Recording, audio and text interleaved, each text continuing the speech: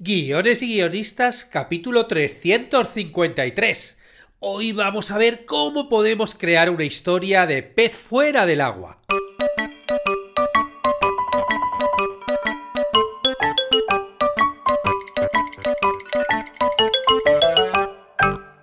Buenos días a todos, bienvenidos a Guiones y Guionistas, el podcast con el que todos podemos aprender a hacer guiones y en el que el guionista es el rey y la guionista la reina. Yo soy David Esteban Cubero, vuestro anfitrión, y cada semana salimos al aire con dos programas en los que vemos un nuevo elemento, técnica o herramienta para que sepáis más del contextual mundo de los guionistas y el sorprendente arte de los guiones. Bueno, como habéis oído ya en la presentación, hoy vamos a hablar del recurso narrativo de un pez fuera del agua. Pero bueno, ¿en qué consiste este recurso narrativo? ¿Cómo podemos utilizarlo a la hora de crear nuestras propias historias? Muy bien, hoy vamos a ver cómo funciona este recurso que da muy buenos resultados en comedia, pero no solo en comedia, ¿no? Como demuestra, por ejemplo, la metamorfosis de Kafka. Pero bueno, eso va a ser después porque antes tengo que recordaros como siempre que en la plataforma cursosdeguion.com podéis aprender todo lo necesario para escribir guiones y convertiros en guionistas. Que tenemos cursos que nos enseñan a escribir guiones de cortos, de largos, de documentales, de series, cómic, videojuego, bueno, lo que queráis. Ya hay 58 cursos a día de hoy y cada semana salen tres clases nuevas. Hoy de hecho continuamos con el curso de escritura creativa en el que estamos viendo recursos de grandes escritores para proponer ejercicios que estimulen nuestra escritura y creatividad. Hoy vamos a ver cómo trabajar la autobiografía de la mano de Maya Angelou.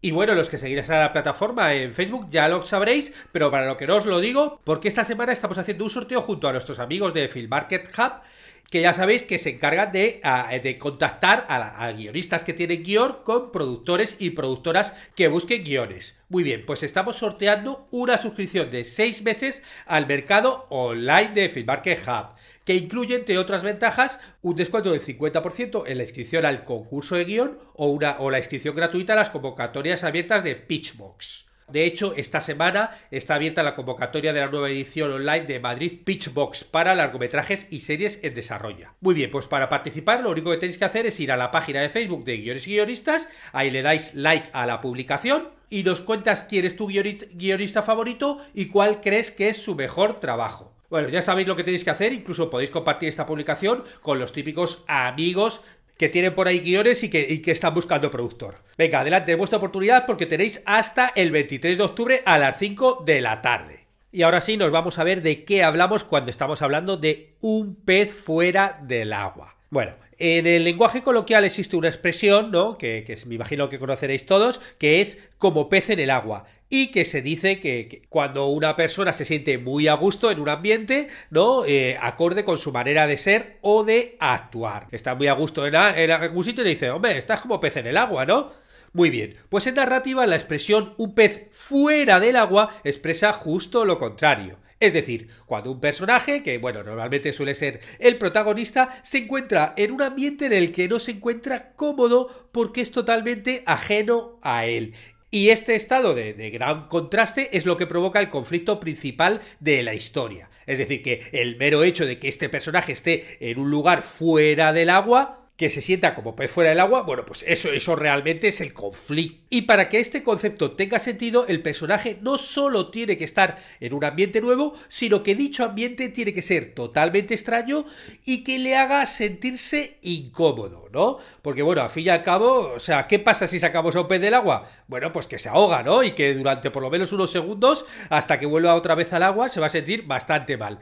Pues ese es un poquito el objetivo que se busca con este recurso, ¿no? O sea, tenemos que encontrar a un protagonista y poner en un lugar donde no encaje y, claro, cuanto menos encaje en ese lugar, mejor. Y después lo que tenemos que hacer es forzar la situación para que nuestro protagonista lo pase lo peor posible. ¿No? Sí, sí, y digo lo peor posible porque, claro, es un recurso, ¿no? Este, el pez fuera del agua, que, funciona muy bien con la exageración y cuando llevas la premisa al límite. Y este concepto, la verdad, del pez fuera del agua puede trabajarse en la creación tanto de programas televisivos como de películas o series. Si nos vamos, por ejemplo, a hablar de, de, televisión, ¿no? De, los programas televisivos, el formato televisivo que más ha utilizado el concepto de un pez fuera del agua es el reality show de, seguimiento o los docu-show o docu-soap, como también los llaman a veces. Es decir, son los programas en los que un anónimo o famoso, ¿no? Se va a adentrar en una realidad totalmente diferente a la suya. Y a partir de ahí tiene que vivir entre las, eh, ante las cámaras, pues esta nueva condición y tiene que aprender de la experiencia. Es decir, pillamos al famoso o al, o al anónimo, lo ponemos en un lugar donde no encaje nada ¿no? Cuanto más contraste, muchísimo mejor. Y nos dedicamos a grabar, pues eso, todas las situaciones que le van a ir ocurriendo. El primero de estos formatos al salir al aire, ¿no? O por lo menos el primero que, al cual yo tengo acceso, es Simple Life. Simple Life, ¿no? Eh, el reality de Paris Hilton y Nicole Richie, ¿no? No sé si lo recordáis, bueno, si no, buscad, buscad en YouTube el, el tráiler, la verdad es que es bastante divertido. Aquí básicamente lo que hacía Paris Hilton y Nico Richie es dejar los teléfonos móviles, las tarjetas de créditos, eh, el estatus de, celebrity, o sea, dejarlo todo y se iban a mudar a, durante un mes con una familia de Arkansas, es decir, una familia del típico Estados Unidos profundo, profundo, profundo, ¿no?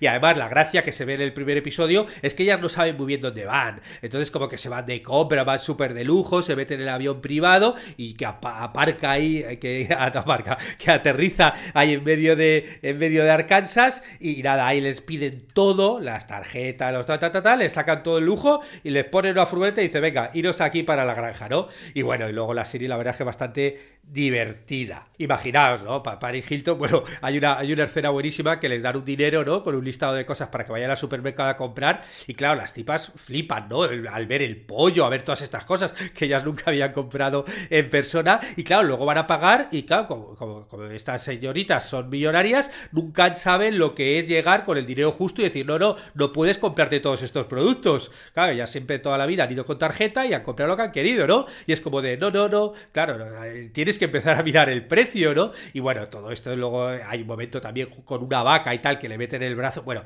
es muy, es muy divertida la, serie, la verdad. Bueno, la serie del, reality show, porque ya se hacen de sí mismas, es un, es un reality. Y funcionó también que luego hubo varias temporadas, ¿no? En una se fueron a un campamento, en otras hicieron intercambio de, de esposas la verdad es que jugaron bastante con el, con el formato. Bueno, hay otro formato que se llama The Secret Millionaire de, de Channel 4, que en España también creo que se llamó El Secreto, hicieron una, una versión. Bueno, aquí se, se, ponía a un rico en la mesa de un pobre, ¿no? El concepto. Es decir, un empresario iba de incógnito a convivir a una familia pobre y después de sentir eh, eh, en carne propia las dificultades por las que pasan los colectivos más desfavorecidos, pues al final el millonario desvelaba su identidad y claro, ahí ya sí que luego ponía al pobre en su mesa ofreciéndole ayuda económica o un trabajo. Claro, como os decía antes, estos formatos funcionan cuanto más grande sea el contraste, mejor, ¿no? Cuanto más millonario sea el hombre y luego la familia sea más pobre, pues mejor. En el formato, por ejemplo, Famous, Rich and Homeless, un grupo de personajes populares, los típicos celebrities, famosetes, bueno, pues viven durante 10 días como si fueran indigentes. Eh, eh, eh, los celebrities estos son abandonados a su suerte en una calle, totalmente, claro, vestidos, disfrazados un poquito ya como de, medio homeless, ¿no? ¿no? les ponen ahí con todos sus lujos. Y, y, y les dejan ahí en la calle sin dinero, sin pertenencias, para que se busque la vida durante 10 días con sus 10 noches, ¿no? Y mientras tanto, obviamente, se está grabando todo con cámaras escondidas, cámaras a distancia, microcámaras, un poco toda la secuencia, ¿no? De cómo se va buscando la vida, con todos los indigentes con los que conviven, con los que se juntan, y bueno, se supone que es para que vivan un poco toda experiencia totalmente alejada al mundo que son ellos acostumbrados, ¿no? El mundo de los famosetes y de las fiestas y del, y del lujo. Y este concepto, por ejemplo, se puede llevar incluso más al límite, ¿no? En el, programa, por ejemplo, Perdidos en la tribu, no sé si lo conocéis, bueno, básicamente la frase, el eslogan era tres familias, tres tribus primitivas y tres destinos desconocidos que se convertirán en la aventura de sus vidas. ¿No? El, por ejemplo, en la versión española, eh, eh, lo que se hacía era se enviaba a tres familias españolas, ¿no? Y se les, se les alejaba de la, de la civilizada vida occidental. Y, claro, aquí la gracia era un poquito como el Simple Life, sin que supieran dónde iban, bueno, pues se les metía en un avión y, claro, al final se les llevaba a, vivir, a convivir con alguna de las tribus más antiguas del mundo. Y claro, allí, eh, eh, una vez que estaban allí, durante creo que eran 21 días, bueno, pues tenían que adaptarse a las primitivas formas de vida de estos anfitriones. Se tenía que desenvolver en, el entorno salvaje y convivir con ellos, ¿no? Durante un tiempo, pues eso, no solamente con completos desconocidos, sino con otras, otras normas, ¿no? Y otras, y otras culturas totalmente alejadas a, las que a las suyas hay otras veces donde este viaje ya no es tanto geográfico, sino en el tiempo, ¿no? Como, como demostró el programa Curso del 63, que bueno, también se hizo una, versión que se llamó Curso del 73, y que, bueno, este, eh, os estoy hablando del programa español, que es una adaptación del reality show inglés Data, Datil Teach M, en el que 20 jóvenes tenían que convivir en un internado adaptado como en el año 1963. Claro, aquí el único elemento de tecnología actual eran los micrófonos, ¿no? Que llevaban los concursantes. Y, las cámaras, ¿no? O el confesionario donde, donde contaban cómo se sentían o pedían ayuda psicológica. Y claro, aquí el, bueno, el primer episodio, que es el que muestra las normas, claro, era un poquito como el de Simple Life. Directamente cuando veías a todos estos jovencitos que tenían que dejar el teléfono móvil, porque claro, en los años 60 no había teléfono móvil, o de repente la ropa que traían decían, no, no, a las chicas, por ejemplo, no puedes llevar este tanca porque en esta época no se llevaba este tipo de este tipo de ropa interior, ¿no? Y luego, claro, vivir pues con esas normas, había profesores que eran súper, ¿no? De disciplina dura, y claro, aquí el pez fuera del agua, la gracia de todo, bueno, aquí no era un pez, era aquí, era literalmente como si fueran un grupo de peces, ¿no? Fuera del agua. Pues la gracia es eso, ¿no? Ver cómo vivían como hace 50, 60 años, ¿no? Si ya nos vamos al mundo de la, de la ficción, bueno, este concepto del pez fuera del agua puede utilizarse realmente en cualquier género cinematográfico. Pero hay algunos en los que es más sencillo, ¿no? Como por ejemplo la ciencia ficción. Porque claro, eh, por poneros algunos ejemplos. Claro, casi siempre que contamos una historia de viajes en el tiempo, se recurre a la técnica del pez fuera del agua. Es decir, un personaje viaja, viaja al pasado y se encuentra en un contexto muy diferente al que está acostumbrado y tiene que adaptarse. Es un poco como veíamos en lo de clase del 63, ¿no? Claro, aquí el contraste y el conflicto están garantizados, ¿no? Y, claro, y si el personaje viaja al futuro, pues también está fuera de su ambiente. ¿No? Si recordamos el clásico eh, Back to the Future, Regreso al futuro, bueno, pues ahí el protagonista creo que iba hacia, a los años 50, ¿no? Y claro, allí hay otras reglas y otras tecnologías, por decirlo de, de alguna forma. Y claro, él tenía que manejarse en esa nueva realidad, pero por otro lado también tenía la ventaja de conocer la historia, ¿no? Y lo que ha pasado desde entonces hasta el presente. Y se juega con todo eso, ¿no? Algo que, por ejemplo, no le pasa a, los personajes que vienen del pasado hasta el presente. Es decir, los que, los que viajarían al futuro desde, desde un pasado. Como, por ejemplo, la película francesa Los Visitantes. No sé si la recordáis, si la visteis. Una película, bueno, en Francia fue, vamos, la más vista de la, de la década. Y en ella, bueno, unos peculiares personajes de la Edad Media eran trasladados por arte de magia, ¿no? a, finales del siglo XX. Y claro, ahí ellos completamente desorientados, en un mundo totalmente desconocido y hostil para ellos, intentaban por de todas formas posibles, ¿no? Un poquito volver a su época. Y luego, por otro lado, claro, estos hábitos y estas costumbres medievales estaban sembrando el desconcierto entre todos los demás personas de, la actualidad, ¿no? Un auténtico pez fuera del agua, Y si seguimos pensando en, ciencia ficción, claro, muchas películas sobre extraterrestres que llegan a la Tierra se basan en el recurso, eh, en este recurso, ¿no? Del pez fuera del agua, ¿no? Esa es la base, por ejemplo, de, del extraterrestre, ¿no? Es decir, una alienígena que tiene que adaptarse y conocer cómo funcionan los, humanos en el planeta Tierra. Y, es un recurso que realmente da muchos resultados en comedia, como, demostró, como demostraron las series Borka Bindi, o, Mi Marciano Favorito, o Alf, un clásico Alf, o la película, por ejemplo, Mi novia es una extraterrestre. Y claro, si hablamos de comedia, ¿no? En una historia de un pez fuera del agua, podemos encontrar dos situaciones diferentes por un lado, un personaje normal dentro de un mundo cómico y por otro, un personaje cómico dentro de un mundo normal. Por volver un poco a los ejemplos de los que hemos hablado antes, las historias de viajes en el tiempo suelen incluir a un personaje normal en un mundo cómico. Y claro, el choque cómico se produce al adentrarse en este nuevo mundo y todo lo que va descubriendo eh, el personaje normal, ¿no? Que vive un personaje actual en ese mundo, ¿no? Ya sea pues un mundo pasado o un mundo futuro, ¿no? Eh, bueno, no sé si recordáis, por ejemplo, el dormilón de Woody Allen, ¿no? Que hay un hombre, ¿no? Un hombre es congelado erróneamente y es despertado 200 años después en este futuro hipotético, ¿no? Pues claro, ahí obviamente la comedia está servida. Y funcionaría, bueno, como os decía antes, con el personaje normal en ese mundo cómico que se encuentra. Luego, por otro lado, la mayor parte de las comedias sobre alienígenas del espacio entran dentro de la categoría de un personaje cómico dentro de un contexto normal. ¿no? Una serie, por ejemplo, como Alf, o incluso una película como ET, el extraterrestre, claro, encuentran el sentido del humor en ese gran abismo que existe entre la perspectiva cómica del personaje y la realidad convencional, es decir, la, nuestra, que ahora le rodea. Pero vamos, utilicemos un, método u otro, sí que este recurso, sí que este recurso es muy útil para, para, para, hacer comedia. Bueno, y vamos a terminar viendo algunas opciones que tenemos si queremos generar una historia de pez fuera del agua. La primera de las opciones es cambiar su tiempo enviando el personaje al pasado.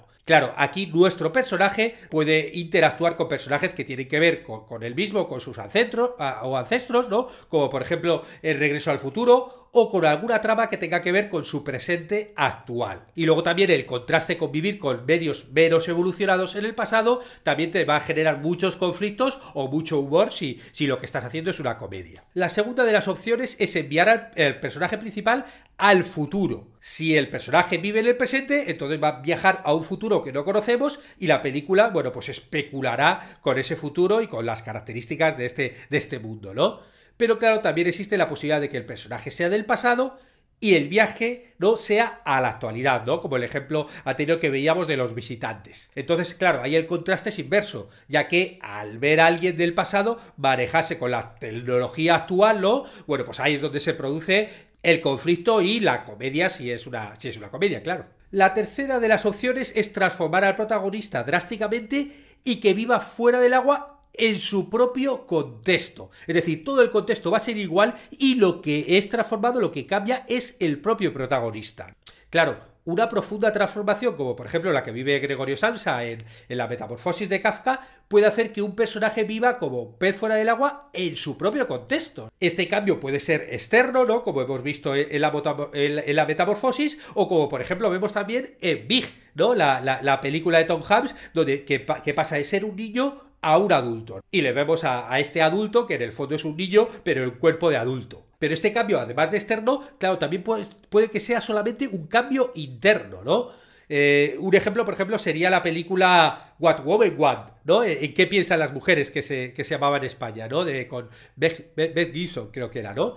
Claro, bueno, es una película en la que un, publicista que era como muy machista, muy egocéntrico, ¿no? Bueno, pues acababa electrocutado en la bañera por culpa de, un secador, de un secador, pero sobrevivía milagrosamente y empezaba a escuchar los secretos y pensamientos de las mujeres que le rodeaban. Claro, aquí el pez fuera del agua es un hombre dentro de este mundo femenino y dentro de sus pensamientos. Un personaje que, claro, a las mujeres solamente las miraba, obviamente, de la parte superficial, pues de repente, al escuchar todos sus comentarios, se sentiría pues, eso, como un pez fuera, fuera del agua, ¿no? Hay otras películas donde los cambios son solamente superficiales, como por ejemplo Tutsi, En la que un actor se disfraza de mujer para conseguir trabajo, y eso obviamente cambia su realidad o eh, eh, con Faldas ya lo loco, ¿no? En Some Like It Hot, en la que dos músicos se disfrazan de mujeres para oír de unos gángster y claro, se enrolan en la banda femenina y acaban eso, acaban viviendo entre un mundo de mujeres, ¿no? Que piensan que ellos, que ellos también son mujeres, aunque, aunque son hombres. Y por último, la cuarta opción es transformar drásticamente el contexto del, del protagonista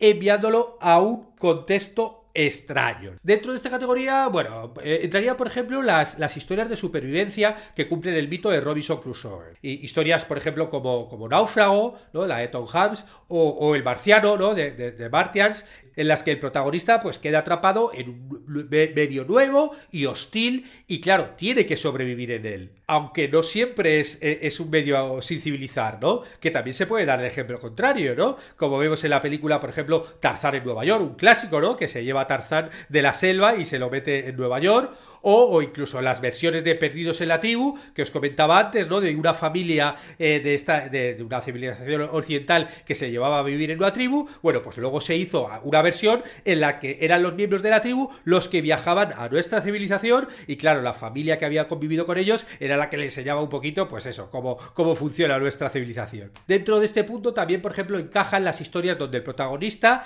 ya sea de una forma voluntaria o involuntaria, va a viajar a un contexto extraño donde tiene que cumplir un objetivo, ¿no? El objetivo el objetivo o el deseo de, esa película. Un ejemplo de esta categoría, pues, por ejemplo, sería La Sirenita o, su, versión, su adaptación de un 2-3 Splash, que son películas en las que una sirena sale a la superficie en busca del amor de un humano. Y va a tener que manejarse la película, bueno, ella está acostumbrada a funcionar debajo del agua, bueno, pues va a tener que funcionar encima del agua en el mundo de los humanos. Y así, tras ver estas cuatro opciones que podemos, con las que podemos trabajar, terminamos el podcast de hoy en el que hemos visto en qué consiste el recurso del pez fuera del agua.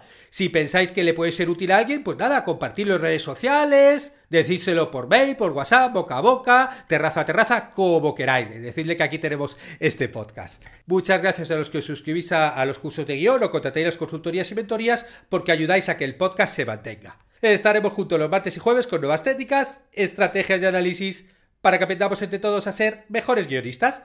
Hasta pronto.